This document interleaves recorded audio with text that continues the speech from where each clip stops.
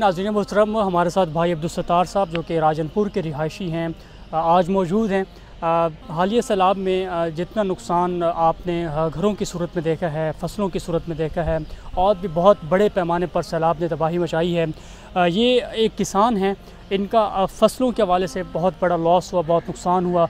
आज इनसे जानते हैं, सबसे पहले तो अब्दुलसार भाई ये बताइएगा कि कितना नुकसान हुआ और क्या क्या क्या चीज़ें हैं जो आपने इतनी मेहनत से जिन फ़सलों के ऊपर आपने मेहनत की और वो आपने आपकी जो है वो जाती हुई आपको नज़र आ रही थी तो उस हवाले से ज़रा बताइए ये हालिया सैलाब के नतीजे में जो हमारी गन्ने की फ़सल थी जो मुकम्मल तौर पे मतलब ये कि अब तैयार हो चुकी थी अपने आखिरी मराहल में थी हम्म। तो वो मुकम्मल तौर पे तबाह हुई है और इसके अलावा जो हमारे घर वगैरह थे वो भी मुकम्मल तौर पे तबाह हुए हैं बल्कि जो हमारी पूरी बस्ती थी वो मुकम्मल तौर पे ख़त्म हो चुकी है। और जो फ़सलों का नुकसान हुआ है तकरीबन मेरे अंदाज़े के मुताबिक उसकी उसके साठ लाख रुपए बनते हैं साठ लाख रुपए का नुकसान हुआ है फ़सलों की सूरत में ठीक है।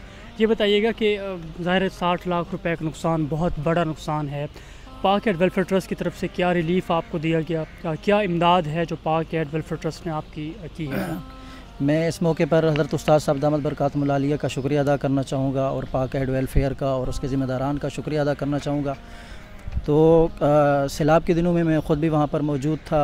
अब ये ज़ाहिर सी बात है कि जब इंसान की ज़िंदगी भर की जमा पूंजी और फ़सलें ये सारी चीज़ें ख़त्म हो जाएँ आखिर आगे सेटअप को चलाने के लिए काम को स्टार्ट करने के लिए इंसान को पैसे की ज़रूरत होती है। इसके अलावा कोई और काम नहीं हो सकता। हम्म। चूँकि बंदे को वही काम करना चाहिए जिसमें बंदे को महारत हो और बंदे को तजर्बा हो। तो चूँकि सैलाब के बाद जो आगे जो फ़सल लगनी थी वो गंदम की फ़सल है। तो उस वक्त मैंने हज़रत उस्ताद साहब दामद बरकतमिया से रबता किया। कि हमारी फ़सलें मुकम्मल तौर पर तबाह हो चुकी हैं हमारे घर ख़त्म हो चुके हैं। तो अब आगे गंदम की फ़सल लगनी है अगर उसके हवाले से हमें कुछ खर्च इनायत फरमा दें या कोई गंदम लगाने के लिए तरतीब बना दें तो बड़ी नवाजिश होगी। तो हज़रत उस्ताद साहब दामद बरकतमिया ने यही फरमाया कि आप हमारे बच्चे हैं आप हमारे बेटे हैं जामित रशीद हम आपके साथ हैं। इन आप हमसे जो तावन जो हेल्प मांगेंगे हम आपके साथ करेंगे।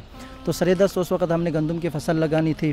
तो मैंने उस वक़्त यही डिसाइड हुआ था कि हम दस एकड़ पे गंदम काश्त करेंगे। तो उसका जो ख़र्च वगैरह का तखमीना वगैरह लगा के मैंने हज़रत उस्ताद साहब को भेजा।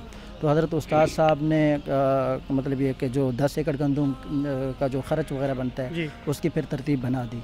उसके बाद मुझे उस्ताद फ़ारूक शाह साहब ने जो पाक एड वेलफेयर के हम्म। ज़िम्मेदार भी हैं उन्होंने मुझसे रबता किया और पाक एड के थ्रू ये पैसे मुझे दिए और उनके ज़रिए मैंने गंदम की बीज की ख़रीदारी की खाद की ख़रीदारी की और तेल की ख़रीदारी की। अल्हम्दुलिल्लाह इन्होंने मुझे चार लाख रुपए दिए और वो चार लाख रुपए मैंने गंदम की फ़सल की सूरत में मैंने काश्तकारी कर ली। माशा बहुत अच्छी है जी ये बात पाक एड की तरफ़ से जो खिदमत आपकी हुई है। अच्छा आप एक किसान हैं ज़ाहिर है कि आपकी तरह और भी बहुत सारे ऐसे किसान हैं जिनको इस वक्त ज़रूरत है।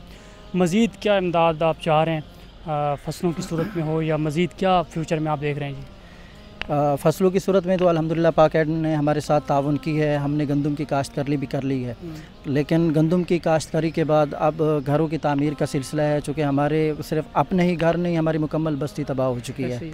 तो आगे घरों की तामीर के हवाले से अगर हमारे साथ पाक एड वेलफेयर की तरफ़ से तावन हो जाए तो बड़ी नवाजिश होगी। ठीक है जी बहुत शुक्रिया अब्दुलसतार भाई। आ, ये आ, भाई जो हैं ये राजनपुर से इनका ताल्लुक़ है और साठ लाख रुपए की फ़सल इनकी तबाह हुई है बहुत बड़ा नुकसान है।